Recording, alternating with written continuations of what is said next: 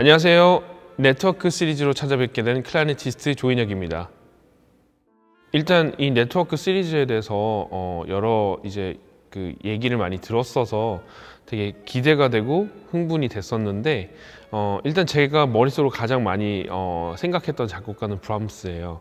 네, 브람스 작곡가에 대해서 뭐 워낙에 사람들은 잘 알고 있지만 이제 클라리넷 소나타라는 이 두 가지 되게 명곡을 남겼는데 이 두 개의 명곡 중에서 저는 2번이 딱 처음부터 그냥 떠올랐어요. 그래서 그 2번을 중심으로 이제 어떻게 구성을 할 것인가에 대해서 좀 고민을 했었습니다. 네. 그렇게 해서 이제 독일의 이제 어, 어느 전통적인 그런 느낌을 가지고 이제 브람스 그 다음에 닐스 가데라는 독일 계통의 그런 작곡가를 선정을 했고요. 브람스 이후에는 누가 있을까를 생각을 했더니 알반 베르크라는 작곡가가 나오더라고요.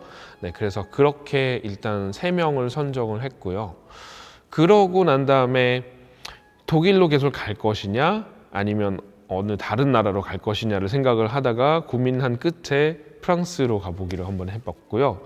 그러면서 가장 먼저 떠올랐던 작곡가는 드비시예요. 네, 그래서 제 곡 후반부를 보시면 드비시와 브람스가 같이 붙어 있거든요. 그래서 이렇게 두 작곡가를 연관지어서 상반된 느낌을 한번 표현하고자 했고요. 이제 드비시를 이제 선정을 하다 보니까 이제 인상주의에서부터 이제 흘러나오게 된 프랑스 근대의 이제 어, 보기 드문 작곡가들을 한번 소개를 해보고 싶었어요.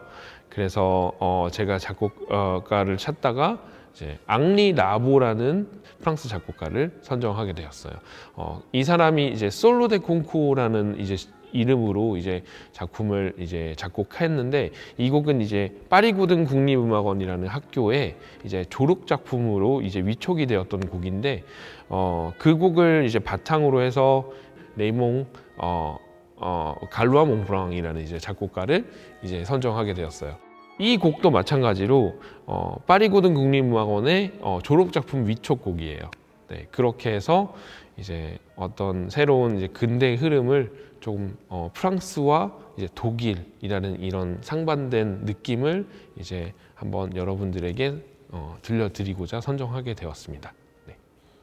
저는 이제 어, 닐스 가데라는 이 작품, 작품 작곡가의 이 작품을 이제 처음에는 제가 이 작품이 되게 슈만의 이제 작품이랑 되게 비슷하다고 느끼면서 저는 처음에 선정을 했는데 이제 이 곡을 계속 연습을 하면서 제가 느끼는 게 어, 맨델스존의 느낌도 굉장히 많이 나고 그러면서도 브람스와도 뭔가 맞닿아 있는 지점들이 있다고 생각이 들었어요. 그래서 제가 연도를 면밀히 살펴보니까 브람스와 거의 비슷한 이제 생애의 연도가 있더라고요. 그래서 아 이 사람이 슈만보다 조금 더 이제 브람스나 맨델스존에 좀 더 가까운 느낌을 갈 수 있겠구나라는 생각을 했습니다. 네.